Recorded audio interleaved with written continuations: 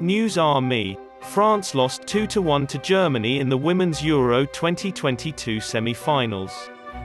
Germany beat France 2-1 on Wednesday to go to the European Women's Championship final versus England.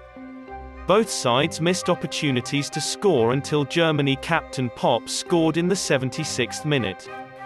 Popp put Germany ahead in the 40th minute, but France responded only five minutes later to tie the game.